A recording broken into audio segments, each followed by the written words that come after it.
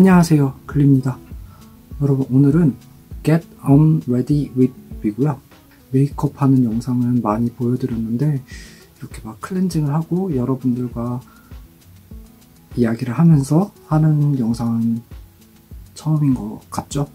네, 그래서 오늘은 스킨케어와 제품에 관한 이야기겠지만 잡다한 이야기들로 이야기를 할 것 같아요.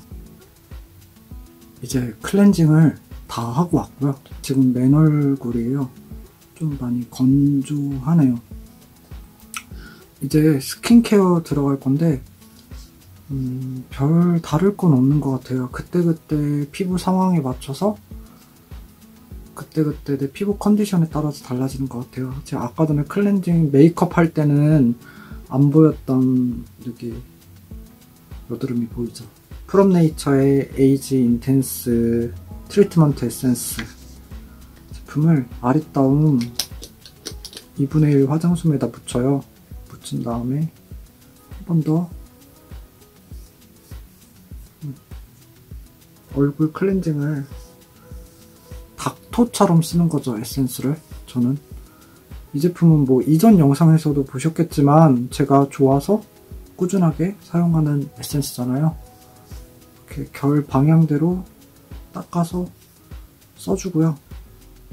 크림을 요즘 들어서 많이 안 바르는 이유가 저의 경우에는 한 제품을 뭐 스킨케어나 뭐 그런 제품들을 사용할 때 그 제품들을 레이어드하고 또 레이어드하고 또 레이어드해서 같은 제품을 레이어드를 하는 걸 좀 많이 즐겨요. 왜냐면 이것저것 기초 제품을 많이 나열해서 쓰다 보면은 결국에 음, 신선하게 쓴다는 그 맛이 사라져가지고 차라리 한 제품을 빨리빨리 써버리고 빨리빨리 써버리고 빨리빨리 써버리고 그렇게 하는 게 저는 더 좋더라고요. 앰플에 좀 꽂혀 있는 상태여서 음, 앰플을 썼는데 프로폴리스 앰플에 요즘 꽂혔어요. 그래서 차엠박 프로폴리스 에너지 앰플도 사실 이거는 제가 홈쇼핑에서 꽤 많이 구매를 예전에 했었던 제품인데 오랜만에 다시 써보니까 역시 쫀쫀하고 보습력도 있고 어, 경우에 따라서는 끈적거림을 느낄 수도 있는 것 같아요. 이것도 거의 다 썼어요. 다 써서 양이 없어서 어, 맥스클리닉 제품의 프로폴리스 barrier 앰플을 요즘 좀 자주 쓰는 것 같아요. 이 제품도 자주 쓰고 있는데 차앤박 제품하고 맥스클리닉 프로폴리스 앰플은 음, 좀 다르긴 해요. 왜냐면 맥스클리닉 앰플 같은 경우는 정제수 베이스가 조금 들어가 있는 편이고 CNP 같은 경우는 정제수보다 프로폴리스가 고농도로 들어가 있는 네, 그런 제품이어서 그 농도 차이가 조금 있는 것 같아요. 그리고 네이처 리퍼블릭 더 착한 마음 히알루론산 수분 앰플. 이것도 민감성 피부에 괜찮은 앰플이라고 해서 쓰는데 이 제품 역시도 막 순하게 들어가다 보니까 자주 쓰는 것 같아요. 화장 전에 거의 쓸 때가 많아요. 화장이 좀 더 쫀쫀하게 먹는 그런 느낌이 들더라고요. 히알루론산 베이스의 앰플 같은 경우는 내 피부의 상태를 파악할 수 있는 것 같아요. 흡수, 건조할 때는 흡수가 더 빠르고 약간 덜 건조하다 싶을 때는 흡수가 더딘? 그리고 이 위에다가 차앤박 앰플 아니면은 맥스클리닉 프로폴리스 앰플을 발라주고 있어요.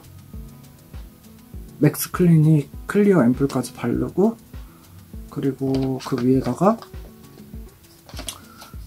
음, 눈 쪽이나 아니면 코 쪽 이런 팔자주름 쪽이나 목주름 같은 경우는 이니스, 이니스프리의 anti-aging wrinkle 크림 바르고 있어요.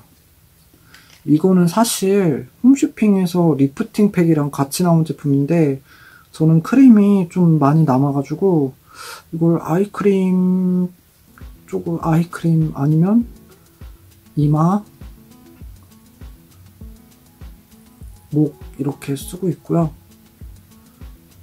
음, 약간 매끄덩매끄덩한 그런 느낌이 있어요. 근데 이 제품은 홈쇼핑 라인으로 나왔는데 이제 홈쇼핑 라인에서 로드판 이제 road shop에도 이제 이 제품이 나온 것 같더라고요. 다른 약간 형태로 다른 패키지로 나온 것 같아요. 이것도 잘 쓰고 있고 음, 의외로 좀 엄청나게 바를 것 같은데 적게 바르는 편이죠? 아닌가?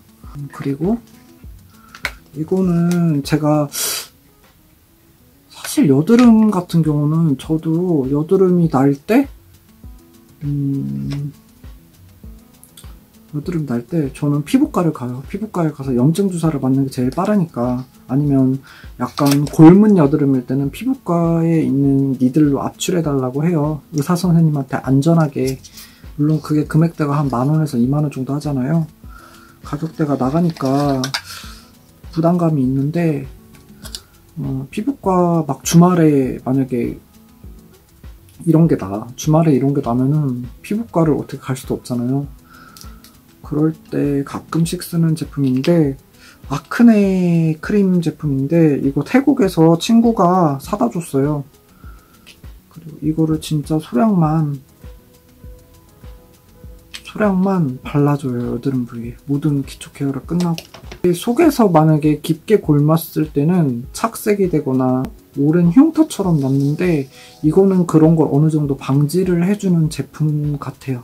막 엄청난 루틴이 있는 건 아니에요. 제가 따로이 뭐 하는 걸로는 피부에 좀 더 한 제품을 layering을 좀 많이 해보는 거? 네. 한 제품을 layering을 많이 해서 비립종이 나나 안 나나 제 얼굴에다 뭐 임상 테스트를 하고 있긴 한데 비립종이 나나 안 나나 그런 걸 테스트를 해서 괜찮은 제품들이 있으면 여러분들한테 소개를 해 드리려고 해요. 앞으로도 그러고 지금도 그러하지만 그러면 저는 이제 자러 가야 될 것 같아요. 자기 전에 따뜻한 물 한 잔씩 드시고 좋은 꿈 행복한 꿈 다 같이 꿉시다. 네. 그러면 안녕.